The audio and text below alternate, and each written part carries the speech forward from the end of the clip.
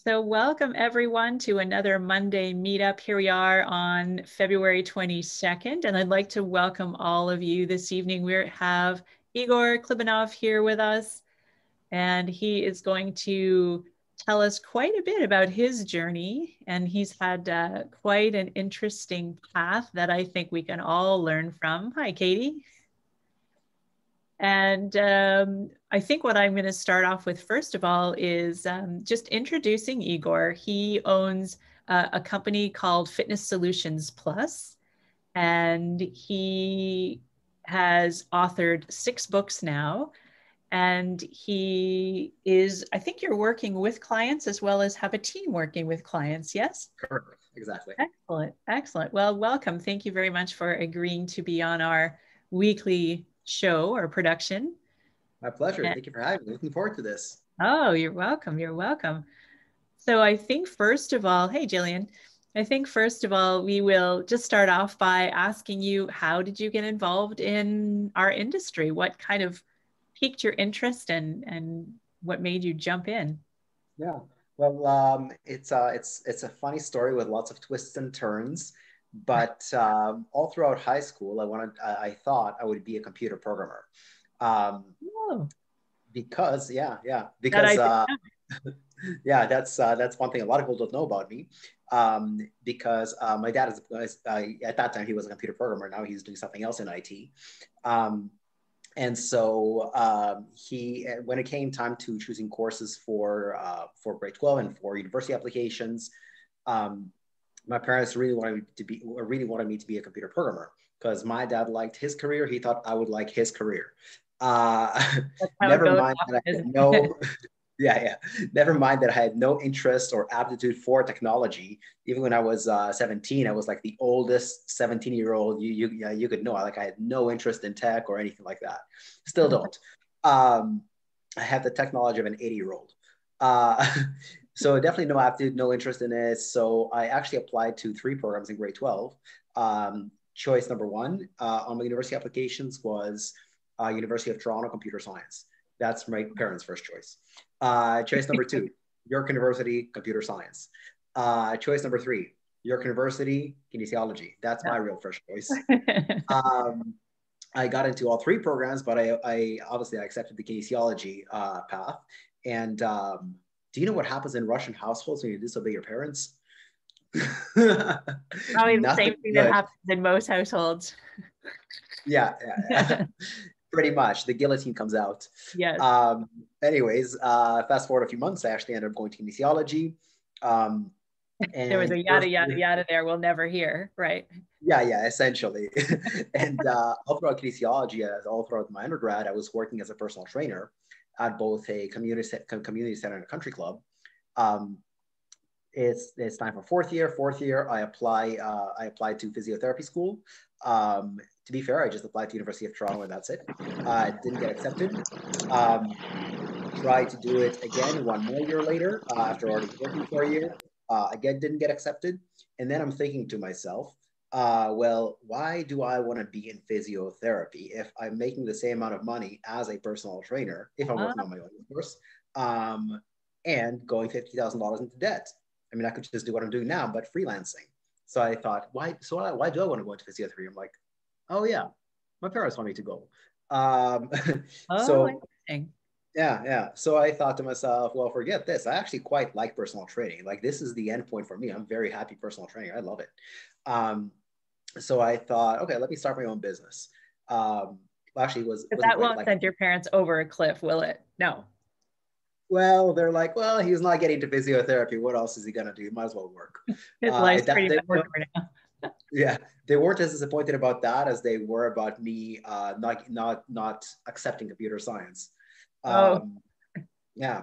Um, so I was already working at, a, at, at the country club and uh, and at the country club as a personal trainer, I was uh, breaking all kinds of sales records. Um, and it wasn't a new club; it was a 51 year old club at the time. So I was breaking a lot of sales records. Oh, cool! And uh, yeah, on, two occasions, my manager told me that I wasn't allowed to make more money than her, because um, uh, oh, I was. That's too yeah, bad. I was 22, 23 at the time. She was about 47, 48. Um, How dare you? yeah, yeah, exactly. How dare you? Um, so she said it twice. At that point, I knew this is not a joke. And then she started creating rules to prevent me from making more money than her. Um, what? Yeah, yeah. Um, so I thought, well, you know what? I'm getting, I'm breaking sales records. I can go out on my own. I'll still be, I'll still be, I'll be fine. Um, so I went on my own, um, handed in my resignation notice with uh, very, very shaky hands because uh, because I didn't know what it's going to be. There's no security of having a job or a steady paycheck. Um, so I went out on my own and I thought to myself, well, I'm a good trainer. I mean, I'm getting breaking sales records. Um, so I'll do fine on my own. And that's when reality hit me that being a good trainer is not good enough to uh, to build your business. You actually have some, to have to have some skill yeah. in sales and marketing.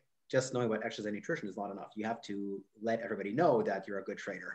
That's where sales and marketing comes in. So I was already an avid bookworm up until that time. Um, I was reading about 70 to 80 books per year. Um, wow. All were in the realm of exercise and nutrition. Well, I figured, well, now I'm in business on my own. I should probably read something about marketing and sales. So I started to devote some of those 70 to 80 books towards marketing and sales. And then I started testing different strategies, seeing what worked, what didn't work. Um, and uh, tracking everything along the way in an Excel document. Uh, here's what I did. Here's how it worked or didn't work, and etc. Oh, very good, yeah. very good. What was your most uh, favorite sales book that you can remember that made an impact? By far, the best one I've ever read is called Spin Selling, S-P-I-N Selling, by a guy named Neil Rackham, R-A-C-C-K-H-A-M. Uh, Neil Rackham, Spin Selling. By far the best one I've ever read. Oh, okay. Oops. Yeah. Sorry. Yeah. Um, so I start I started testing out different strategies, different tactics. Um, came came across a ton of failure. About 45 or 46 different uh, strategies and tactics that I've tried that have yielded completely zero results. But I still kept testing, trying until I came across the first one that worked, which is public speaking. Um, okay. So I started to do that. Uh, I came across the second one that worked, which is email marketing. Uh, but uh, but along the way, I blew a ton of money and a ton of time on stuff that didn't work. Um, ads in newspapers, social media management, pay-per-click ads, a uh, ton of stuff that didn't work, but eventually came across public speaking and email marketing, and that worked like gangbusters. So it grew my company from, well, just a one-man operation to, well, now 14 trainers working for me, plus three staff that are not trainers. Oh, wow. Incredible. Incredible. So you stumbled on this perfect formula. You, you think it was the email marketing that was really the thing that kind of pushed it over the edge? It was like a one two punch the the one two punch was public speaking and the second one two punch oh, wow. was marketing because the way people got onto my email marketing list is through my public speaking engagements. Right right right. Very nice. And so how do you find your public speaking engagements?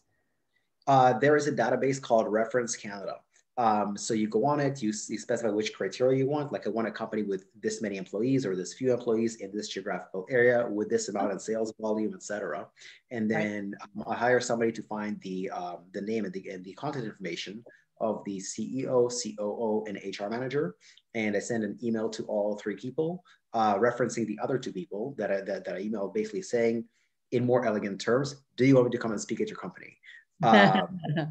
And uh, for every 50, 50 companies that I email, about one says yes. That's a pretty good return. Yeah, yeah. It's so pretty it's, it's return because I bet you your introductory emails look sort of similar, so they don't need a, a lot of work to be nope. redistributed out to the other, you know, the next company in line. Yeah, it's literally just co- copy paste, tweak a few words here and there, so it's so it's personalized. Um, right. And the way you go. No, I don't, I don't, I don't do this myself. My assistant does it for me. So it's I really just show up and speak. That's that's fantastic. And so, have you been able to do that just during COVID times as well? No, during COVID we took a different strategy. Um, in-person seminars are by far the best thing that I can do for profitability, etc. Mm-hmm. However, in-person seminars are not an option during COVID. um, so I tried I tried doing webinars for corporations, but attendance is horrible. Um, oh, okay. To compare the numbers, if I'm doing an in-person seminar, about half of those who register will show up. So if I have 40 registrants, 20 will show up uh, from a corporation. By mm-hmm. comparison, mm-hmm. if I'm doing a webinar for a corporation, somewhere around, around 20% will show up, uh, if that, if that. Mm-hmm. Um, so it's not worthwhile doing public speaking uh, in that format during uh, during COVID. However, what I have been doing is webinars for my own email list as well as for other partners, naturopathic doctors, uh, dietitians, etc. Uh, that, that has been much more fruitful than uh, corporations. So very interesting. Um, if we turn to the different books that you've been writing, and, and you've got quite a, a range, um, will will you be asked to speak about the topics of your books when you go to, to speak to NDs and and uh, other healthcare pros, or are they looking for something very very different when you go to meet with them? Yeah, it's almost always my books. Uh, my okay. number one talk is called "Stop Exercising the Way You Are Doing It Now." Uh, first came the seminars, then came the book um, on that topic. Okay. I'm like, I was right. thinking about this so much, I might as well put it on paper. Uh, then yeah. put that on Amazon. Right. Um, so I did that, and probably about right now, about 60 or 70 percent of my speaking engagements are all just this this topic. Um, wow. Yeah, yeah. Although I have 22 different topics, but like I said, 60, 70% are just that topic. Uh, my other most popular topic is this one, the mental health prescription. Um, and that one I'm actually giving away to everybody listening right now and uh, to the recording. If you just go to fitnesssolutionsplus.ca slash kinesiology, which is in the chat box right now. Um, and so yeah, that, that's my second most popular topic, although I have uh, literally 20 others. incredible, incredible. So um, when you are talking about stop exercising the way you're doing it now, for example, and you mentioned that you're saying the same things over and over and you're putting them down into a book because obviously more and more people are very interested in that. What would be some of your top five uh, things that you might recommend um, to people when when you are coming to them with this talk saying stop exercising the way you're doing it now? Yeah, well, this is probably not going to be news to uh, to a group of kinesiologists, but to the general public, it will be. Um, but uh, one of the uh, one of the most important things, of course, is stress management. Uh, for the simple reason that it it, it it you know dips into so many different areas of, of life, especially if we're, if we're talking about fat loss. I was reading one study about um, how how stress affects um, eating behavior. Um, I don't know if we have a bunch of uh, geeks in the participants, but I, I, I, yes, I usually like to talk about studies. Um, so I was reading this one study where researchers um, subjected groups of, of women to a stressful, uh, to three stressful events. Event number one, they had to do difficult math, um, like counting backwards from, from 100 in very difficult um, numbers. Uh, stressful event number two, they had to complete a puzzle with an unrealistic time limit. And stressful event number three, they had to do public speaking in front of an audience. Um, so all the women in this study were subjected to the exact to the three to the, to the exact same stressors, and their cortisol level, levels were measured before the stressor and after the stressor. so although the objective event the same, yeah, yeah, fascinating study. So although the objective event was the same, three different stressors, one group of women they categorized as low stress reactors, the other as high stress reactors. Those who secreted just a little bit or a bit of cortisol in response to those uh, three events um, were, were, categorized as low stress reactors. Those, those who secreted um, more cortisol in response to those events, so were considered high stress reactors. And here's what they noticed. The high stress, uh, stress reactors uh, ate 79 more calories in the, in the meal after the, the three stressful events than low stress reactors. How fascinating. Oh, do you think it was triggered by the cortisol then? Because we know yes. that cortisol has an effect on leptin levels, which makes you, or sorry, on ghrelin levels, which make you hungrier. Yeah, yeah, exactly. Um, also, it uh, it raises the blood sugar, and then insulin counteracts it, lowers blood sugar. So there's just a whole interesting interplay of, of what's going on, and that's just one stressful event. Um, I mean, divided into three different. Um, just one stressful event um, with one meal. Now, imagine if somebody's under chronic stress, and it's not just one meal that's measured, but three different meals. Um, so sometimes, yes, we, we're trying, we're looking for diets and so on, but I often say that if you've lost weight in the past, your diet is not the problem. Uh, it's usually emotional eating, stress eating, cravings, planning, stuff like that. Um, and so if it's emotional eating, the problem is emotional. If it's a matter of planning, the problem is logistical. And I, am fond of saying we don't solve emotional and logistical problems with nutritional solutions. Uh, we saw them with emotional with emotional solutions like cognitive behavioral therapy um, or exercises at least. Um, logistical solutions, cleaning up your covers, stuff like that. Uh, so that's one of the things that I talk about stress. The other one is sleep. Uh, the two go hand in hand. And sometimes I'm stressed, so I can't sleep, and I can't sleep, so I'm stressed. I'm extra reactive to stress. uh, exactly, exactly. And um, j- just good restful sleep will decrease cravings by, by, by a lot. Uh, imagine if you're sleeping six hours per night and somebody else is sleeping eight hours per night. Well, that's two extra hours as an opportunity to eat for, for no other reason than that. I never thought um, about it that way. I mean, just so, so simple. But also right. the foods that you go for are higher calorie, higher sugar, higher fat, like richer foods. Uh, so that's another one, sleep. How do you optimize that? How do you improve that? Uh, three, strength training. And I'm not going to belabor this one. It's a group of kinesiologists, obviously. Uh, but strength training goes a long way. Uh, for hormonal balance. So it's important to have your hormones tested. Um, and when we work with clients, we like a combination of objective blood, blood tests, but also symptoms. Um, when you combine the two, you have a more complete picture of what's going on in the body. The reason I don't like to use either one by themselves is because with symptoms, uh, sometimes somebody looks symptomatically, they look great. But you look at them visibly and you're like, something's not right. You have bags under your eyes, your waist circumference is 51 inches, and you weigh 300 pounds. Something's wrong. But symptomatically, they feel good. Um, at the other end of the spectrum, I don't like to rely on blood work myself either, because I can't tell you how many clients I've had that come to me and say, "Well, Igor, my blood work's low, my, my blood work looks normal. Then why do I feel so crummy?" Okay, mm-hmm. uh, so that's why I like to combine blood work and symptoms. Um, and heck, if they have other tests, saliva, urine, stuff like that, I'm happy to look at that as well. Um, so that's number four. uh, Sorry, are those blood tests uh, ones that you are asking the clients to ask their physicians for, and you're telling them here are the things I want to make sure that you ask for for your physician to order in that blood test? Yeah, so I have a list of 49 different tests uh, that mm-hmm. I ask them to ask their doctor to run.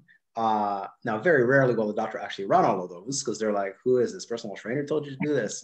uh, get real here. Uh, but I tell them, take it to them anyway. They're going to run more than they would have run without it. Right. Um, and yeah. whatever they don't run, take it to a walk-in clinic and ask them for the rest. Um, and heck, worst comes to worst, pay for for the rest out of, out of pocket. Uh, there are labs that sell direct to consumer. Mm-hmm. Um, so that's number four. Uh, get your hormones tested. Number five, improve your digestion. If there's room for improvement, sometimes your digestion is fine. There's nothing to improve. But if your digestion is compromised, uh, that's going to undermine your efforts at overall good health. So those would be my probably top five that I talk about in that book. That's that's fantastic. Did that surprise anyone as uh, as Igor went through the list?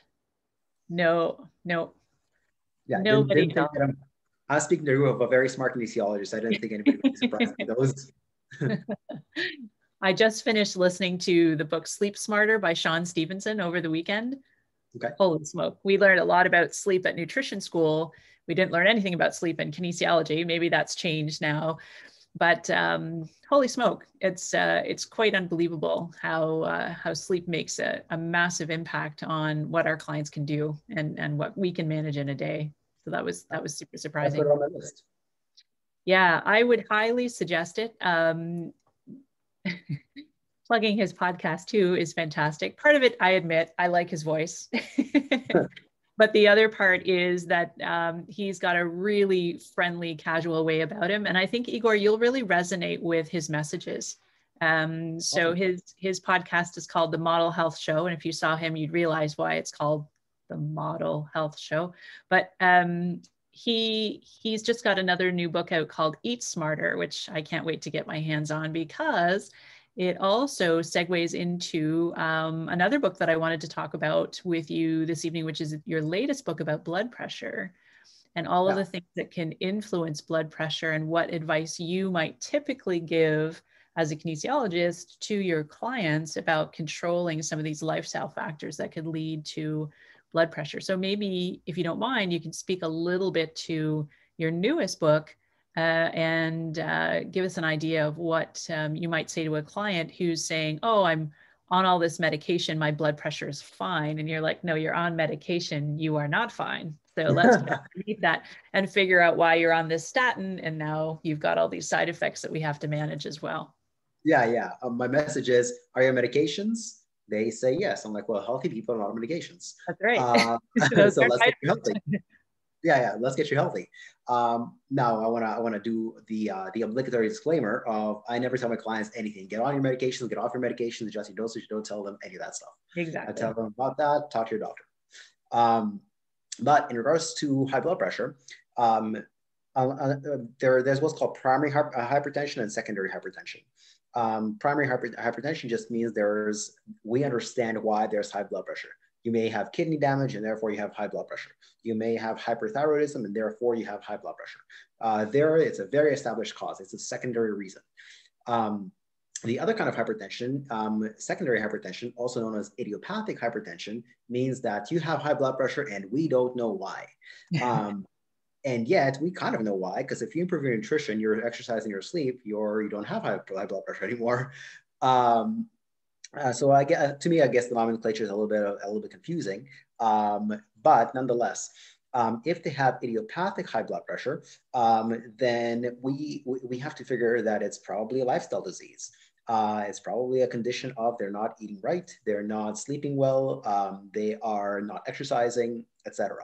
Um, and so if they have a habit of, let's say, 40, 50, 60 plus years of bad habits, it's very difficult to do a, a, a an entire lifestyle change. We're not going to change everything. We're not going to change their nutrition and their exercise and their sleep and their supplements. We have to just pick one. Um, and from a perspective of behavior change, it's much, much, much easier to change one habit at a time. Uh, I'm, I'm, going to reference another study here. Um, so researchers wanted to find out what's the what's the best thing you can do for behavior change and so they divided participants into three different groups group number one only uh, they picked which one habit they would change group number two picked two habits to change group number three picked three habits to change and after i believe it was either people with high blood pressure to start with no, no. Uh, so unrelated to, to blood pressure, just just in general about behavior change. I think they're just trying to get healthier overall. Right. Um, and uh, and after either six or 12 weeks, I don't remember the timeline, group number one, who only made one change, 83% of them stuck with a change after that six to 12, uh, 12 week period. Group number two, it dropped to 29%. Whoa. Yeah, and group number three, 7%. Uh, so huge, huge uh, a, a jump from one habit to just two, and another big one from two to three. Um, that's really interesting is KINS working on behavior change because that's what we do. Yeah. Yeah, absolutely. And so if we want our clients to change, we can't throw an entire lifestyle overhaul at them. We gotta ask them. We don't prescribe. We we uh, we we give them a choice of that's a good choice, that's a good choice, that's a good choice, that's a good choice. Which of these good, which one of these good choices would you like to make? Um, and I generally divide it up into like four different categories: exercise, nutrition, supplement, sleep. Um, from an exercise perspective, like the easiest thing you, do, you can do that I talk about in my book is just squeeze your fists with about 30% force for two minutes, rest for three minutes, and repeat that three more sets three times a week. Um, that by itself, yep, yeah. 30% force. That's it. Simple, dead simple. Easy compliance, 24 minutes per week. You don't got to go to the gym. You can do it on the couch in between, uh, in, in like during commercial breaks. Uh, that's that's the exercise, for example nutrition, I, I don't necessarily tell them what to remove unless they're unless they're like, oh yeah, that's easy to remove. Um, instead, I tell them what to add. Um, I give them a quota. I tell them here's a, a, list of 15 or 20 different foods that you can choose from. Choose one to eat with each meal. Um, oh, good. Yeah, because naturally, good stuff pushes bad stuff out. That's one. And two, when you tell them what they can't have, what you what they can't have now becomes seductive. They want to have it. Right. Um, so I, I, rarely will I tell them what they can't have unless I ask them, would you be okay with removing this? If they're like, yeah, that's no problem. I'm Like, sure, let's let's do that. But if they're like, well, maybe if I see any hesitation of I don't go with that. Yeah. Um, and there's fortunately there's not a lot a lot to remove. Like the biggest culprit, bigger than sodium, is energy drinks. Um, yes, yes. Isn't that surprising? Yeah, yeah, yeah, which which makes sense. I mean, they are loaded with caffeine, but unlike coffee or tea, which also have caffeine, they also have an amino acid called theanine or and, and catechins to counteract that. Energy drinks don't have theanine or catechins. Um, it's it's all unopposed caffeine. Um, mm. So I so so energy drinks would be my pretty much the only thing I would actually like actively remove. And sodium, I don't you don't remove it, but you you lower it if possible. Mm-hmm. Um, but a bigger effect than lowering sodium is augmenting potassium uh, sodium restriction on average lowers blood pressure about two or three millimeters of mercury. Potassium augmentation lowers uh, blood pressure between seven and nine millimeters of mercury. Um, so just more bang for your buck with, with no restriction. On the supplement side of things, yeah. um, there's there's a lot of different supplements that you can use for high blood pressure, but there's three or four that that lower it a lot. Um, like we're talking between like 10 to 15 millimeters of mercury, uh, which is wow. significant. Um, some of the most effective effective ones are coenzyme Q10, uh, greens drinks, uh, magnesium, and uh, and olive leaf extract. Uh, there are other ones that lower it, but not quite as much. Now, of course, I never tell them you should take these supplements. I'm not allowed to do that. I'm also not. I, am also. I also don't say that if if you take this supplement, it will lower your blood pressure. I'm not allowed to do that either. Mm-hmm. What I am allowed to do is I'm allowed to say research shows that um, this supplement lowers uh, lowers blood pressure by this much. What I'm also allowed to say is other clients or other people who've taken the supplement have seen uh, impressive reductions in blood pressure. I, I, of course tell them go see your pharmacist before you start taking this. I never say go see your doctor because doctors just don't know supplements. That's not that's not their training. Very true. It's very true. Yeah. Like I just had a client taking a yeah. I just had a client who was hitting oh, she was above uh, seven millimolars uh, per liter on her uh, glucose test that she just completed. Yeah. And so she doesn't quite meet the threshold for metformin prescription, yeah. which would have solved other problems. Metformin should be like a street drug, as far as I'm concerned. Hmm. Uh, it's a it's a quite a wonder drug. But um, I said, okay, how about berberine? And uh, he said, oh, yes, yes, that would be great because yeah. he he Health Canada says he's not allowed to do this. But if I make the suggestion as a nutritionist, I can say, well, mm, how about this? And here's the research. And he said, yep. thank you. Yes, let's do that. So they they don't know supplements, but they're usually very open to hearing about research behind any yes. any supplement. And then they they say, absolutely, fire me the research and and you've got that. So yeah, yeah. for sure. If you can come at a doctor with research, awesome. But mm-hmm. some doctors let, let me rephrase. A lot of doctors won't even read the research. So I right. just say, go, go, go, to a pharmacist. Yeah. Pharmacists are trained in supplements. They know supplements. And yeah. furthermore, they know drug nutrient interactions. Mm-hmm. So I, I, never say go to a doctor, go to a pharmacist. Um, mm-hmm. You want to go to a doctor, but go to a pharmacist first. Yeah, uh, mm-hmm. yeah they're sleep. a good secret weapon that we don't often pay attention to. Yeah, absolutely. Um, and yeah, berberine is one of the most tried, tested, and true. Tons of research behind it. Yeah. Um, my next book, which I'm actually working on right now, is actually a follow up to the high blood pressure book called Type 2 Diabetes Reversal Secrets. And one of the secrets is berberine. Berberine. Yeah, good. Yeah. That's excellent. That's really, really good. And the fourth strategy, of course, is sleep. Um, in the general population, sleep apnea is about five or 6% of the general population has sleep apnea. In the hypertensive population, something like 35%. And to take things a step further, in hypertensives that have what's called, bless you, um, resistant hypertension, which is they're already on three medications for hypertension and it's still high, it's, it's not going down below 140 over 90. For those people in that population, uh, 70, uh, about 70% of them have sleep apnea. Um, and so I say for anybody who's hypertensive, resistant or not, uh, you should be getting tested for sleep apnea because chances are you probably have it. Uh, so those would be my four uh, my four secrets for high blood pressure reversal: uh, exercise, nutrition, supplement, sleep. Amazing, amazing. Any questions from anyone so far? I agree with the pharmacist. My best friend is a pharmacist, and I agree. I support pharmacists. I Good. think a very underutilized healthcare profession that we sort of we we don't see, we forget about because we think you know they're just in the back compounding um, yep. medications for us. And I've had some long chats with pharmacists. Uh, there's one particular one where uh, I could just, you know, sit there and, and talk his ear off, and he's quite happy to explain yeah. what he knows, and and I can come to him with uh, anonymized list of medications from clients of mine, and he knows who it is because they are they are a customer at this particular shoppers drug mart. So he knows but i blacked out the names. Okay. And i've said can we speak about this? And he said yes we can speak about this because you have taken precautions to hide this person's identity and i'm not going to acknowledge that i know who it is. And so That's we amazing. go the, we go through the medications and it's it's so interesting because i say look you know there's there's 13 here. Is there any uh, way that we could speak to the physician because I'm having to hear about the side effects. So yeah. um, it becomes quite a concern. So the pharmacist can be super helpful in even helping us understand some of the medications that we're seeing in our clients' files too. Oh, absolutely. And I mean, a lot of the complaints that I hear from my clients um, is that my doctor will only see, see me for four minutes and then get out of my office. Yeah. Pharmacists by, by by comparison they're less busy and therefore way, way more patient. They have way more time to get to a person. They'll sit down with them. They have a private office usually. They'll talk to them explain um, and it's a one-on-one conversation. They'll spend way more time. Yeah so i would highly recommend if anyone has questions go ahead and, and see if you can can talk to one and build some rapport with uh, with one because they would be um, they would be a really good backup for you. Yeah pharmacists are fantastic.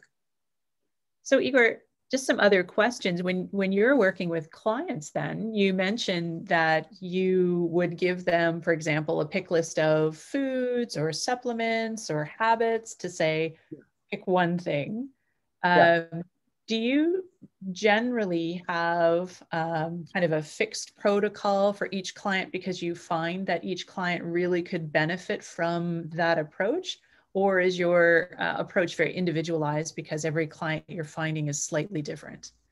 Yeah, it's fairly individualized, and uh, and, and and what I do is, um, well, I talk about this in I think it's chapter six, um, which is literally in the chapter is titled individualization, um, which is um, we we measure their blood pressure before, and then kind of like a, like, like a tailor, a tailor starts when they're making a suit or a dress or whatever. Um, they start with the same piece of cloth for all clients. Then they take measurements and then they refine that piece of cloth, right? They cut, cut away what doesn't need to be there. That's um, a great analogy. I like that.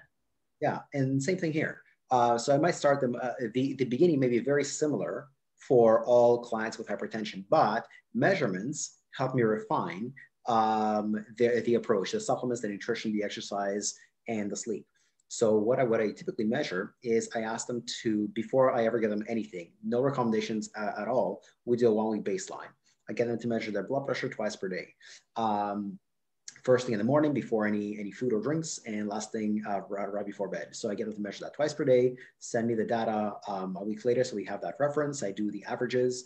Um, I also look at the highest and the lowest, um, and then we uh, then I have them pick one little thing, and then we we we test that out um, we uh, so they keep, they keep tracking their blood pressure morning and evening, sending me an Excel document at the end of every week, and we see how's it going. Is it working? And if so, uh, can we make it better? And if not, let's let's change things. Um, a lot of things with supplementation, it's about testing out and figuring out the right dosage. Um, for example, in the book, I talk about one one client I had. His name is George, um, and George was a pretty big guy. Like he's not not not overweight, but big and tall and fairly like he's well built. Uh, despite being well built, high blood pressure uh, 210-ish pounds. And we started off at a dose of magnesium of 300 milligrams. Didn't work. We bumped it up by, I think, either 100 or 200 milligrams um, every three, four days. Um, didn't work until he reached about 2000 milligrams and I'm and it still didn't work. And I'm like, that's a high dose. I'm like, that that's all I'm uh, go. That's as far as I'm comfortable going with you. He says, but you know, uh, I would like on my own to test it further at my own risk. Um, I say, okay, this is all on you, but I'm going to make sure you know the symptoms of toxicity um, so that if they do appear, you can back off on the dose. So I explained to him what the symptoms of magnesium, tox magnesium toxicity are, and he on his own kept raising it, raising it, raising it until he actually saw reductions at about 3,000 milligrams. I'm like, super deficient. He was very, very deficient. Um, I'm like, I am glad I chickened out at 2000, but he kept going to 3000. So I'm, I'm glad that he kept going because um, again, he wasn't experiencing symptoms of toxicity um, at all, not even at 3000. And what um, would you um, say that the symptoms you would expect of toxicity would be? One is an abnormally low heart rate. If you're, if you know your resting heart rate and one day you wake up and it's about six, uh, six beats per minute or more lower than your average, uh, that's the symptom of toxicity. Another one is uh, is lethargy. Another one is diarrhea. Um, another one is low body temperature. So these are all symptoms of magnesium toxicity. And if you do experience them, just back off on the dosing, you'll be fine. yeah, yeah, yeah, yeah. Oh, interesting. Yeah. Really, really interesting. Yeah. So we test different strategies. So I have every client uh, measure morning, evening for one week, send me information. Um, and then we figure out do we do do we increase the dose of either food or nutrition or exercise, or do we test a different strategy? Wow. Well, it it makes a lot of sense. And then how do you find your clients to be in terms of receptivity? So when they're coming to you and you're introducing all the tracking and then one habit change at a time, it, do they like the structure that you're you're giving them or do you get any pushback from clients saying, well, wait a minute here, this is a lot? Yeah, um, I have two different types of clients. Some of my, I, I classify my clients as numbers oriented people and non numbers oriented people. uh, now, I do a lot of presentations for the GTA Accountants Network. You can bet accountants are numbers people. They love tracking stuff and counting stuff. When I tell them to track this, they're all over that. Um, I also happen to speak to a lot of engineering companies. Engineers are also very, very much numbers people. They love tracking stuff. No pushback. They're like, no, I want to do more. I want to, I want to report more than what you give me. I'm like, cool, let's do that. Uh, whereas some people are not numbers people. Um, I also speak to uh, do some some presentations for the Toronto District School Board, um, and, and and others that are not or nurses or healthcare professionals who are not necessarily numbers people. So with them, I'm like, all right, well, don't track, let's say every day, but uh, but let, let's say track three times per week. You know, mm-hmm. I'd rather have more data than less, but some data is better than no, than no data.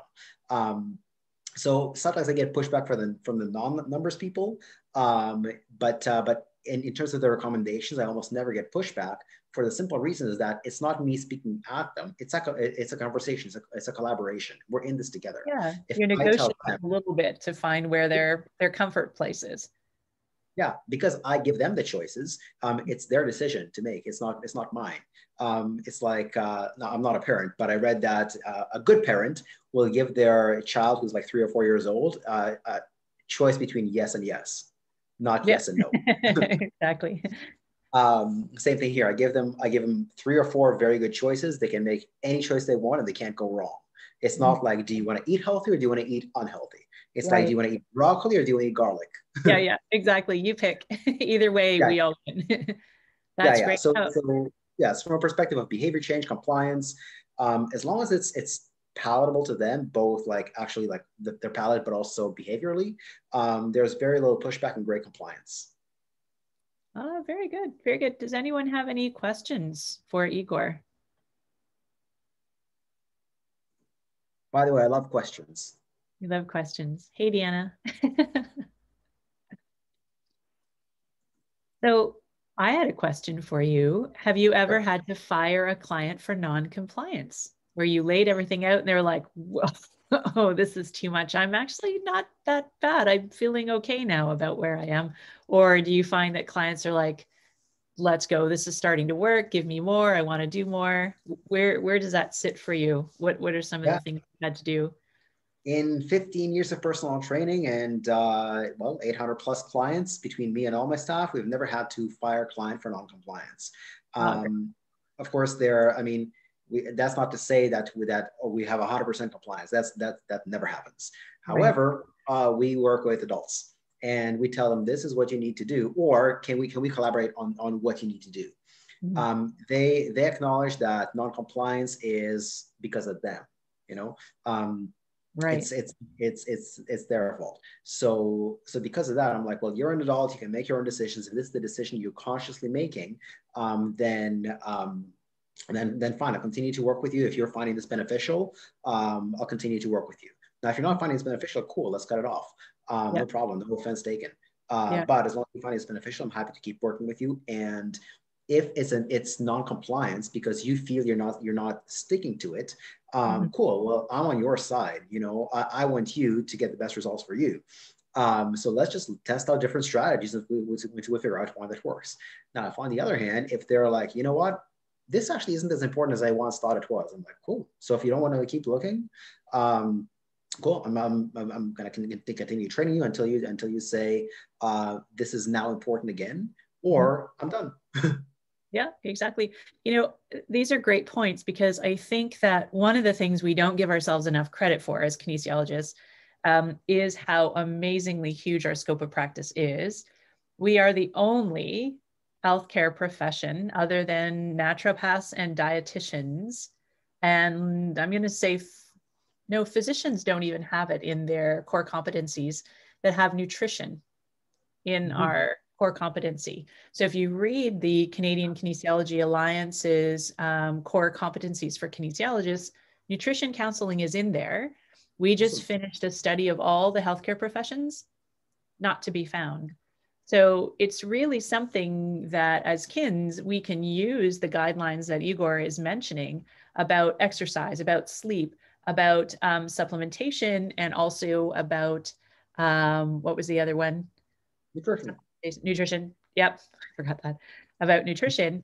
And by speaking to it in the way that you're not prescribing supplements, but you're saying, here's what nutrition, here's what the research says, um, then you can you can provide options. So that's a very very interesting way of uh, looking at the core competencies for nutrition and being able to make um, a huge um, difference with our with our clients and being that um, broad about the recommendations that we can make i think sets us apart quite a bit i don't know that there's a lot of people that are talking about sleep and that are talking about uh, nutrition in quite the way that we could. We tend to think that kins know exercise which we do inside out and backward. Yeah, um, but i don't think we go far enough into that lifestyle and then start wrapping it around to say do you understand how sleep affects your exercise which affects how you eat? So drawing those uh, connections for people, I think could make a huge difference in in our um, client outcomes. Yeah. Does First Line Education have any courses on nutrition yet, or because I saw you're doing a poll? Yes, we have one. We are we are literally putting the final polish on, and we are going to have an introductory webinar just to give people an idea of what's in it. Um, but it's a little bit of a beast because we go through these scopes of practice to show you how you can use nutrition in your practice.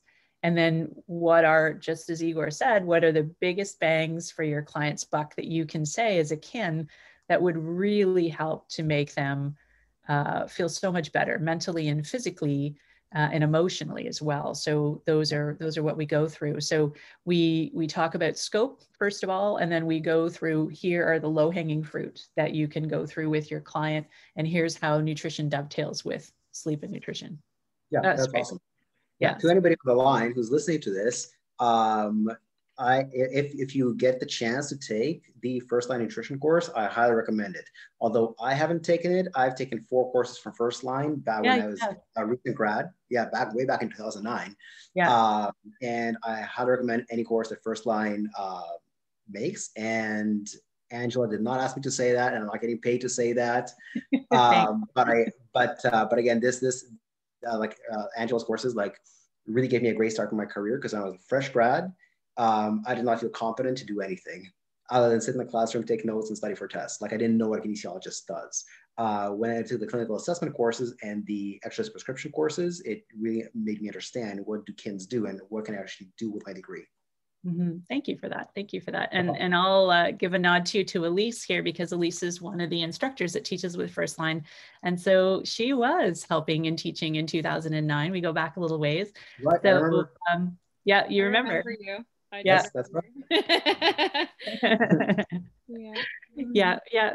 Well, this this is the thing is is that I think that as kins, if we have a really good handle on the basics, there's nothing we can't do. Uh, I think that we tend to feel that if we can't wield needles and we can't do adjustments that we're somehow not able to step up with our clients. And I think Igor has shown you this evening that by setting out this framework for your clients and being very, very particular about capturing hard data, about capturing objective data that you can then reflect back on, it keeps you on track and it keeps your clients accountable to you as well. So I think that's really something to consider, something to think about. Um, and whether you are using photographs, whether you are using blood pressure measurement, whether you're using a food diary, there's all kinds of ways that your clients can choose to track their own progress. So you can say, here, blood tests, you know, here are all kinds of ways we can look at how you're doing a tape measure um, yeah. that, that we can study um, your progress. And so in, in light of that, I think it's, it's wonderful the way you've been able to say, just pick how, how would you like your progress measured? And, and then can I also suggest that we you know put a scale in the mix or or um, can we pick your favorite pair of jeans and put that in the mix yeah. as well you know? Exactly. It has to be emotionally relevant. It has to be emotionally relevant. Yeah that's a really really good point. Um do you find then um, igor that you give your clients a, a program that takes place over a certain number of weeks? Like do you have like a package or like a, a certain number of sessions that you want your clients to commit to where you're pretty sure you're going to see results and you really want them in all in for that certain length of time Yeah, um, I have my recommendations, but we also have three different packages. We have a package of 15 sessions, 30 and 50. Um, and I tell them based on your goals, the amount of weight you need to lose, the uh, and the amount of weeks it takes to lose that weight. Um, here's the recommended package. Of course, it's up to them to make that decision.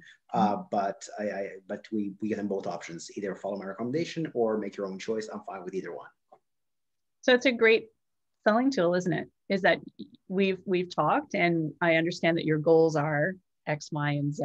Yeah. Here are the things that I'm recommending that we do together to help you get to that point. And, you know, based on science, we know approximately how long that will take you. So, yeah, yeah you choose. Exactly. I mean, once you start pulling out a calculator and you figure out the number of weeks, you're like, oh, it's not, it's not me saying it, it's the calculator saying it. Yeah, yeah. yeah. The calculator. Exactly, exactly. it's just numbers. yeah, yeah, exactly. Nothing personal. That's no, right. No, no. That's that's really really clever. Really clever. Any other questions popping up for anyone as we chat? Anything that you've thought of? Maybe there's some questions about how to find clients, maybe, or how Igor. What's that? A favorite topic of mine. Go go right ahead. What what's your what's your favorite way? Now I noticed you mentioned that you do the public speaking and then those people are on your mail list then and then you've got a really great email marketing machine behind you. Can you can yeah. you describe a little bit about what that looks like for us? Sure. Um, so I actually do an entire, uh, so I, I, used to speak regularly at the Naturopathic College. Uh, one of the topics that I used to speak about was marketing.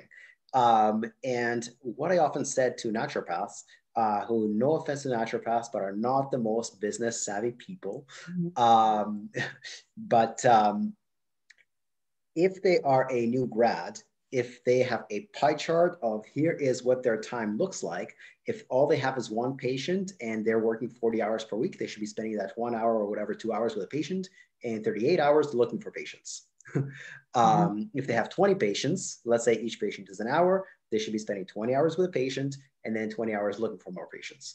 Oh, um, oh, good. So you should be, uh, you should be, it's, it's a bit of a change in perspective. You, do, you, you can't see yourself as in, the, in as providing kinesiology services. You have to see yourself as in the business of marketing kinesiology services. Um, so it's a bit of a, of a perspective shift. Um, marketing, a, a lot of, especially healthcare professionals, we feel like marketing is kind of beneath us but no marketing, no clients, no patients, no sales, no money.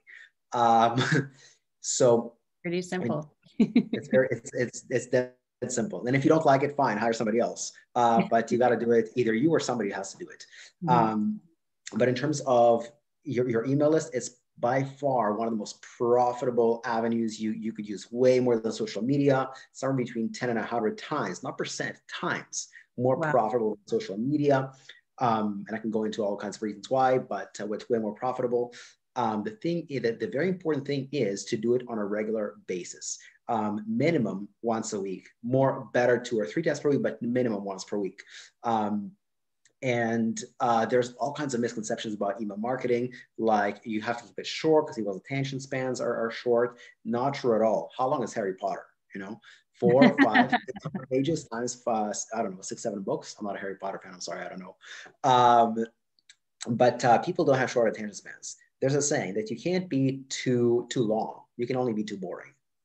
oh, very good. Yeah, if I mention it, I'll keep reading. yeah, if it's interesting, you'll keep reading. If I write, pop up in my my email inbox the next week, and I'm like, oh, I wonder if, what he has yeah. to say this week.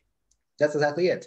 Most yeah. of my, my articles are in the 1500 to 3000 word range. Um, they are hefty whopper articles. Yeah. Um, and yet, for the person who, who is irrelevant, one paragraph is too long.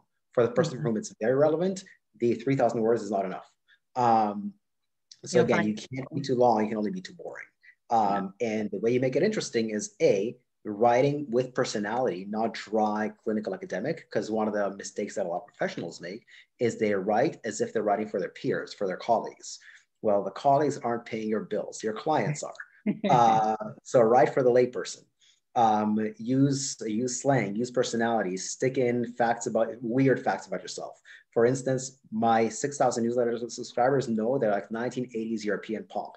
Um, like stick. They they know that I love the movie Rocky Four. They know that I love Jackie Chan, um, stuff like that. Uh, so you have to put in with personality. You have the, the, it's a person that feels like it should be. It, it's speaking to them. Um, so that's one of the biggest mistakes. And another big mistake is not focusing on building your email list. Mm-hmm. Um, it's nice to write. It's nice to have people to write to, because if you're writing and nobody's reading it, well, it doesn't serve you much of a purpose. So you have to grow your email list. And when somebody's just starting out, I say go bare bones. You don't have to be use any crazy tactics. Just send um, an email, an individual email to every person in your inbox, uh, basically saying, hey, I'm starting up a newsletter. It's going to come out once or twice per week, whatever you decide. Um, here are here is three or four bullet point points about here's some interesting topics I'm going to chat about. If you want it, let me know. If you don't want it, respond back anyway, letting me know that you're not interested so that I know it's not lost in cyberspace. Um, simple as that. Now, expectations about 5 to 15% of people will respond positively to that email and you have a new subscriber. For, for those that don't respond, two to three days later, send a second email saying, hi, name, comma, I'm not sure if you got my last email. Another 5 to 15% will sign up after that email because mm-hmm. um, don't give up after the first one. It's not a sign of disinterest. It could be busyness, could be it landed in a spam folder, it could be some, something else. Um, so so that, that's how you start. So first start with emails. Second, look through your Facebook and your Instagram network and message them. Third, look through your phone, send text messages. Uh, fourth, look for look through your LinkedIn. By that point, you will have somewhere between one and 200 people to send emails to. Mm-hmm. Um, and then you can look at fancier stuff. But this is your basically this is your low hanging fruit, um, and that, that's where you start. Um, and uh, and again, you have to make it interesting. You have to make it compelling, and don't forget to follow up two to three days later if you don't get a response. Great advice, really, really good advice. And I think for anyone who is a practitioner sitting there saying, "Oh, I don't have to do this because I don't work for myself," what an mm-hmm. interesting thing you could do for the clinic that you work for because Absolutely. if you are able to build the client base for your clinic, oh, hey, you're probably going to get some of that business, or you may work yourself into a nice side hustle for the clinic or the organization that you work for because maybe no one was doing that before and they could really use some help with promotion and just letting people know what the clinic's all about, highlighting some of the practitioners that are there, and maybe talking about some of the people who uh, are attending the clinic and some of the results they're getting on behalf of the clinic. And hey, as a bonus, uh, if you are if you are working for a clinic and you're thinking of doing this, um, one thing you can do is you can work on a commission structure with them. Either those those patients come to you, or those patients go to other kinesiologists or physiotherapists or chiropractors, and you get a commission on that. Mm-hmm. Mm-hmm. Almost every clinic, any any clinic manager, director with any kind of business savvy knows they would rather have 15% of a sale than 100% of no sale. Exactly, exactly. And it's it's not a small commission that you're looking for because this was business they never had before. Absolutely. So you need to think about this pretty clearly. And so that's something that as a new practitioner that if you were able to bring to a business I mean, as a business owner, I would jump all over that. I'd be like, oh, this is something I don't have the headspace for, or there's low hanging fruit. I didn't even know there was business in all of our, our clients' emails because it's not just the clients, it's their friends, their family, their own networks. And they're saying, you know what, my clinic is, they're just wonderful. I mean, I feel like I'm part of this community. They're always following up with me, telling me what they're up to. I'm now enrolled in their yoga classes, or now I'm actually uh, working on a, a, new nutrition program with them. I didn't know they offered this kind of thing. Uh, or I'm yeah. getting some great information about what massage therapy is doing for my nervous system that I never would have had before. So Absolutely. I think there's a lot of opportunity there.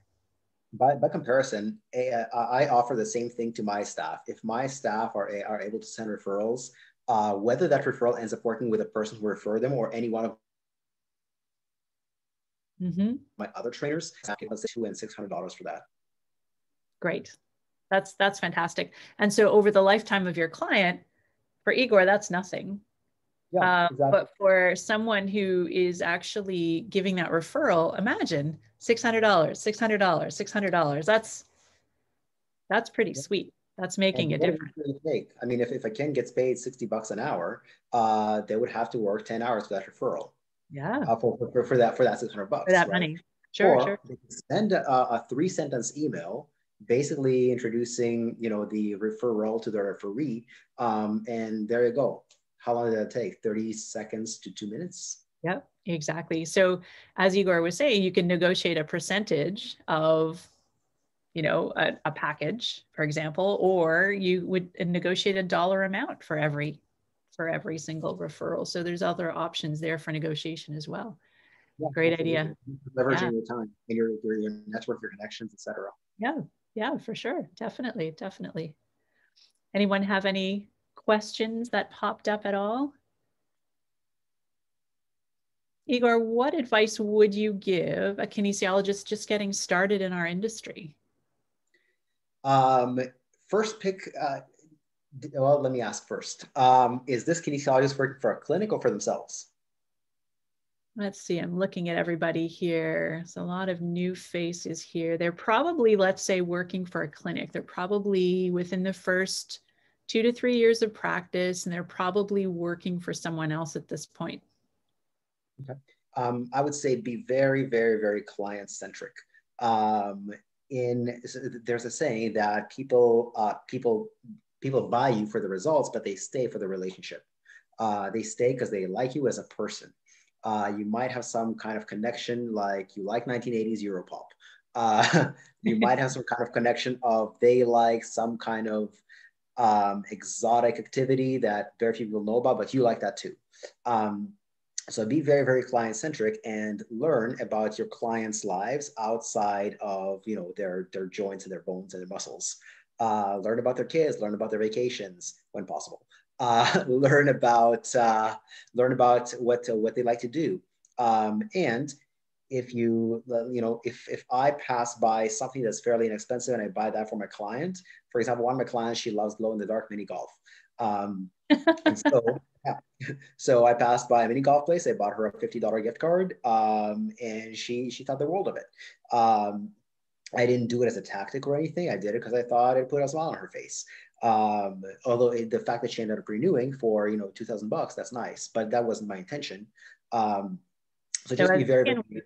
We're challenged a little bit there because we we have to do things that are probably pretty small. We we're not able to do anything that's that would be yeah. a significant dollar amount, but but definitely, you know, to your point, um, you know, sending people an article or you know, yeah. making sure that they that they know that there's an event coming up that they might really like, um, something like that, or taking going out for a walk and finding a photo that your client would really enjoy and sending them the photo. You know, yeah. But if you're if you're not allowed to to buy anything for your clients, there's tons of stuff you can do. Let's say you read about, uh, for example, one other thing I like is boxing. If somebody sent me a um, a um, an article about this boxer that I like, for example, let's say it's Manny Pacquiao, if anybody's ever, ever heard of him, um, I'm like, oh, that's cool. They, they thought of that. They remember that.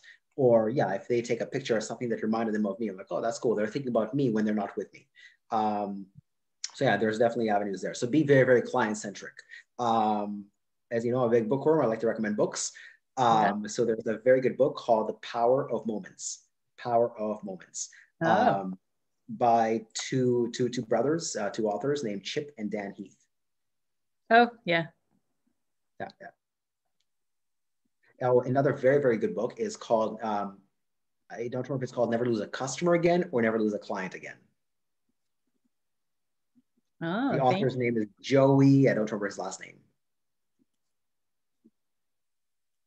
Thank you. Okay. No problem. We'll post these. Sure thing. Yeah, no, that's great. So thank you for that. Did anyone have any other questions? Such a quiet group. yes, very well behaved. well, we we blew by another hour. I mean, I can't believe how fast these Mondays go, but I wanted to thank all of you for coming out. And Igor, thank you very much. You are a fast talker, you're a fast thinker, um, you're full of great ideas. And I love your enthusiasm for our industry and for the well being of clients because I think that you're getting results. Obviously, your clients are getting results. And so that's it just says the world about what we can do as kin so in that sense it's super appreciated that you and your business is doing so well because it only helps everybody else my pleasure this is a lot of fun for me like uh, this is definitely um, it hardly feels like work. A lot of people think I'm crazy because I didn't take uh, vacation in 16 years. And I'm not saying they're wrong because that's true. I am crazy. Um, but the reason I haven't taken vacation in 16 years is because this is fun for me. Um, it's like I get to wake up in the morning and I, and I, basically spend time with my friends. And incidentally, they pay me for spending time with them and getting in better shape. Um, yeah, and, and also learning about marketing and sales and all that kind of stuff. That's it's it's like a huge big experiment for me um, my business is not just a source of income, it's a source of entertainment too. it's a great, great way to do it. Great way to do it. So you're able to work with clients and be this prolific at the same time? Yeah, yeah, yeah, yeah. I, I don't even own a TV.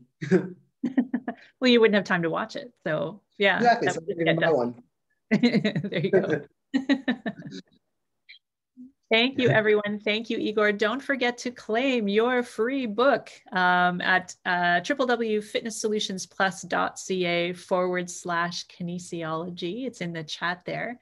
Thank you, Igor. I really appreciate that. And My pleasure. I'm sure, no problem at all. I am sure you will be back because we will drag you back when you uh, finish your next book. I would love to. Thanks again, everyone. Have a good evening. See ya. Bye for now.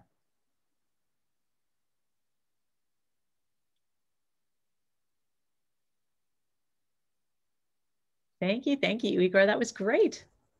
Yeah, my pleasure. This is one of my favorite topics. I love talking about this stuff. oh, that was wonderful. That was Deanna was my roommate in university.